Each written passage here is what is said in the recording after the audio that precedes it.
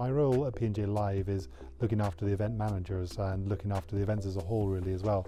We have a team of five growing to six um, in the next couple of months. We take over the management of the client and the event as well so we're helping them to know, reach their goals and how they want the event to look at as well. So we're you know, coming up with different ideas that they could use. We're coming up with all the different services that we have in-house as well and basically coming to the point where we can make their event a real success as well. So a lot of things go into that and the guys have to be multi-skilled to be able to manage that.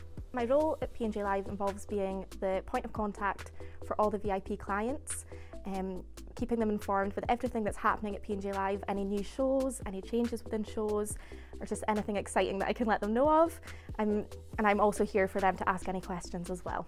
My role is to attract new organisers to the venue and of course the city of Aberdeen North East as a region and yeah basically um, get them to come up to the city and put on um, an event exhibition at the venue.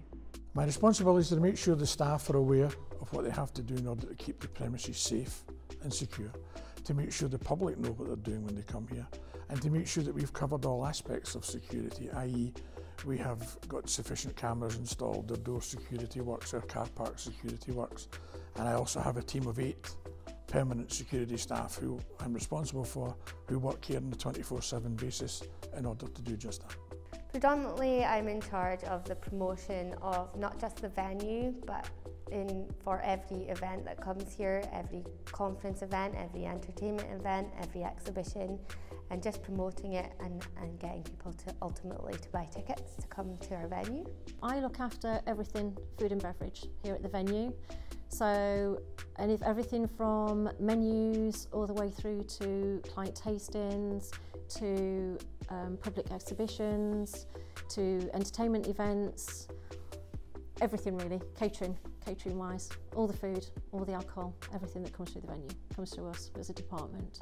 My role here at P&J Live is to fill our larger spaces in the venue, typically our arena, with a range of shows from music, comedy, family and sporting events. My role um, in involves working with association organisers all over the world. It also deals with working with local stakeholders like the universities and public and private bodies um, and it's really about promoting Aberdeen as the uh, a world-class business events destination so that is where the venue comes in and hosting these large global events. My role is to look after anything and everything that relates to entertainment, exhibitions um, and marketing for the whole business. So when it comes to entertainment, that's anything from putting the artist on the stage to ensuring that the VIP offering goes to plan on the night, making sure everyone gets their tickets and um, everyone gets in the door safely, um, and just making sure that we're providing the best in customer service along the way.